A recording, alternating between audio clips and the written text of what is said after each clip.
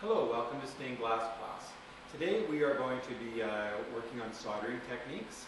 Um, it's the kind of thing that everybody is always trying to improve. Nobody does a perfect solder job, so everybody's trying to improve. So I'm just going to show you the basics. I'm not going to pretend that we're going to get into a huge amount of detail on this particular video, but I want to show you the basics. So if you're trying to refresh yourself, if you haven't soldered for a while, um, or if you just finished your beginner class, and you might find that a lot of these things that were perhaps mentioned earlier on will, will make more sense to you now. So uh, the first thing we like to do, obviously I just foiled a few pieces of bevels to use as an example here. Um, but normally you would have your pattern and you'd put it down on your work surface. We like to work on these ceiling tiles. Um, you can buy them two feet by three feet and uh, this is obviously just part of one. Um, but this um, Morton layout block system is a really nice way to keep everything from moving around when, you, when you're tacking it together, uh, which is the first uh, step of the soldering process. Uh, the bars come in many different lengths. Uh, this is the largest one, and this is the smallest one, and as you can see, there's many different sizes in between. So essentially, I will line things up so that um, this, uh, the bars go just on the actual outside line of the glass. You don't want it to be big, so you don't want to put it on the outside. On the other hand, if you put it on the inside of the line, sometimes uh, things to start crowding themselves. So pretty much down the middle is a good place to put it. So I've got three pieces on here, and we just take the last one here, and we'll just put it in the top section here. It's really nice, because otherwise, you're, if you're using a hammer and nails, everything on your table is bouncing all over the place. And sometimes, you know, the wood tends to move around on you as you're hammering it in. Now one thing I find excellent with this system too is if you're soldering a round piece, and obviously this is just a single bevel, but if you had a hummingbird with a border around it, um, it's very hard to keep irregular shapes in place. So with these push-up or push pins, uh, we don't use the bars obviously, we just use the push pins, and you can go along and you can just put as many pins as you need to to keep your project secure so that it's not going to be moving around on you while you're soldering. So all in all, I, I personally really like this uh, Morton layout block system. So once we've got it where we want it, the first thing we want to do is to tack it together. And uh, in a previous video, video, we talked about the different types of solder. And I mentioned that I like to use 50-50 solder to tack the piece together and then also to fill in any gaps. In this case, since uh, I'm only using bevels, there's not a lot of gaps to work with. But nonetheless, I'm going to, I'm going to show you how to uh, apply the 50-50 solder. When you're using flux, uh, at the moment my favorite flux is this Solder Magic flux. It's a gel flux. Uh, being a gel, it's a little thicker than some of the liquid fluxes, but it's a non-acid flux. And zinc chloride is the most active agent you'll find in most fluxes. Uh, if you look, there's always a skull and crossbones, and that doesn't make me feel like that's something I would like to use. So although the non-acid fluxes aren't as active, they don't move as quickly, they don't act as quickly, they don't sometimes flow quite as nicely, I find with practice you can get used to them and um, they're much better for, for, your, for the environment and for your own health. So I personally would highly recommend that whatever you use, you use something that is a non-acid flux. Uh, being the fact that it's a liquid flux, um, first of all, you don't want to be working out of a bottle. If you are sticking your brush or whatever you're using, a Q-tip, whatever you're using to apply it to the glass, into your bottle, you're bringing contamination into that bottle every time you use it. So what I like to do is just have a baby food jar or some similar kind of a container and pour some of the flux into it. And then of course put the lid back on the bottle because that is the next thing that will happen. If you're working out of your little lid, you're going to knock your bottle over and spill flux all over the at least this way I know that's as much flux as I'm going to uh, pour all over the table. So I have gone back to using a brush. I used to really like using a uh, envelope moistener to apply my flux. Uh, but I find this flux is a little thick to use with that, so I, have been using a flux brush. Um, and it's a matter of dipping it into my flux. When you're tacking, what you want to do is just get a little bit of solder wherever the pieces come together. So in this case, I've got those four spots. Take my 50-50 solder, take my iron out of the uh, out of the stand. I like to get in the habit of always wiping it on the sponge before I start to solder. So I've wiped it on the sponge. Uh, the tip is nice and tin, uh, nice, nicely tin. And um, so now what I do is I get a drop and I put it right where I want it. Now I think this is a very vital point. When you are soldering, you have to actually have contact. Put that soldering iron right down on top of your on top of the glass. So I'm actually touching the copper foil. If you try and just have it slightly above, thinking that it's going to be slightly cooler, first of all, I doubt very much that it's going to be much cooler, even if it was a quarter of an inch away from the top uh, of the glass. And second of all, if you don't actually heat up the foil, the solder doesn't stick to it and it'll just pick off later.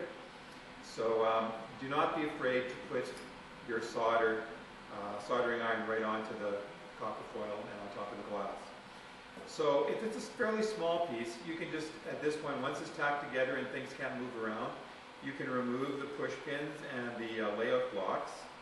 And I'm going to do that right now because you're going to be able to see a lot better exactly what I'm doing next if I remove these.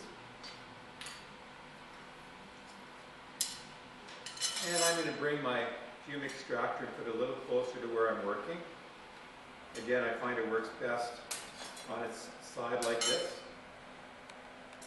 Okay, now I'm going to go along and again use the 50-50 just to flat solder uh, my piece. And this is a fairly small piece, so I can go along and flux it all at one time. But if I was doing a larger piece, I would only flux a small amount because there is evaporation with liquid fluxes. So if you try and go too far ahead of yourself, you're just going to have to put it back on again. So I've applied the flux, picked up my iron, wiped it on the sponge, taking the solder, holding the iron right down flat. And in this case, I don't want to get much solder on here, so I'm just every once in a while getting a little drop of solder and then pulling the iron along. Since this is such a small piece, I can actually move it around. If it's a bigger piece, of course, then you're going to have to, uh, you can move the whole tile around if it's on a tile. That's a real benefit. If it's actually nailed onto a table, it's much harder to do that. But all I'm trying to do here is A, fill up any gaps that I've got there, and B, get a nice flat surface so that I don't have to uh, slow down when I get to a gap. I'm now I'm going to be working with a level playing field, so to speak. Now I want to mention that I only do that to the top of the piece. There is no need to do it to the back. If there were any gaps, it would have, um, the solder would have gone between the gaps and given you a level um, surface on the back of the piece, so there's no need to actually go along and tin the back here. This is really all you have to do. So this is the tinning, I've now done that. So I find that it's a good idea to reapply the flux one more time. So now that I'm going to use my 6040, I reapply the flux. Now, if you have been doing some soldering and you find that there's a lot of bubbling, the bubbling means you have too much flux, so you need to um, use less. So whether that means you're going to go to an envelope moistener, and this sponge will actually, you know, kind of smear it more so you don't have puddles. Um, get less on your brush. Normally when I do get solder flux on my brush, I usually wipe off most of the excess so that I have less on the brush when I'm applying it. So if it's bubbling, you have too much flux. On the other hand, if the solder is not flowing nicely, then you don't have enough. So now I'm going to take my 6040 solder, and I just have a little bit left on this roll, so I'm going to use it up. So I want you to think about two things while you're doing this. The first one is that the soldering iron is going to be right on the glass, and the second thing is that we are going to be letting a little puddle of solder develop behind the soldering iron. Whenever the puddle gets too big, I pull the solder away, and whenever I can see that it's time to add some more, I'll go in there and add a little bit of extra solder. And I'll go right to that spot that I, we're going to have the, uh, where the two lines meet, and I'm going to go back over that. But I'm quite happy with that actually. It's nice and round, uh, no imperfections. It's not going to happen on all four, I assure you. But I'm really happy with that. So now I'm just going to turn it around continue on. So again, I've got the iron flat on the glass. Maybe hold it a little longer when you get to that area where the two lines join.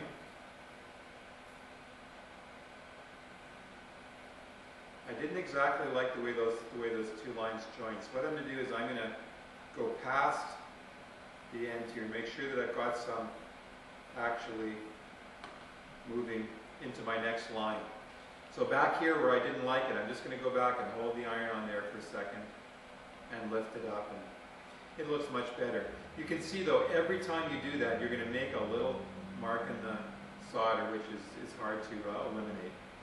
So, uh, you know, the, the more you can go in one direction without stopping, uh, the better it is. So now I've got part of this done already, so I just have to kind of match the pieces up. So I'll just go along. I'm just going to go right through here and melt it again. It, it's not going to be a problem unless I go too slowly. So now I need a little bit more solder. Got enough solder built up behind here, so I pull it away. Go back. Now if I had a wider seam, I would not be removing this solder at all. With a wider seam, I would have to be constantly pulling into this because I would need more solder to uh, accomplish what I'm doing here.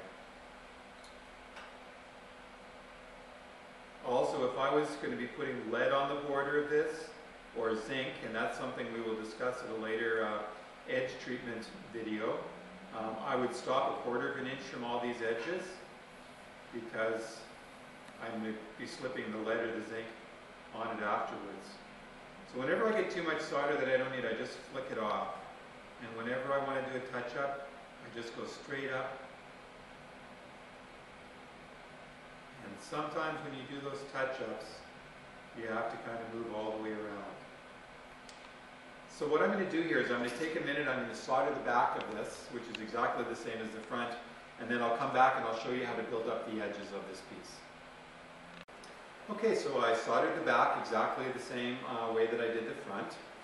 And now what, what I want to do is build solder up on the edge, because if we don't do that when the glue um, dries out, the adhesive dries out, it's just going to pull away from the edges.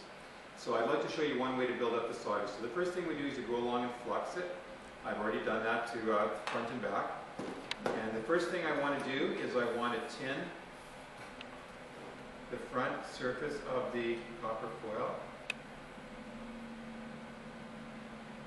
And then I'm going to flip it over and do the back.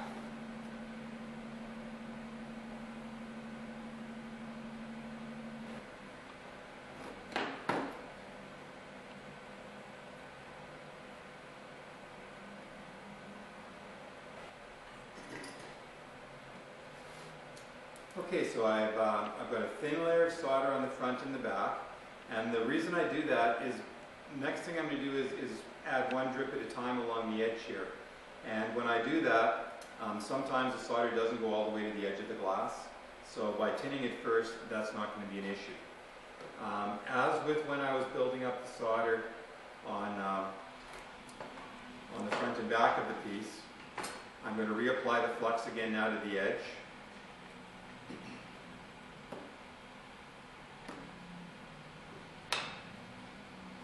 And I've, I've moved my uh, fume extractor to a position where it's going to be able to draw a lot better than when it was sitting down.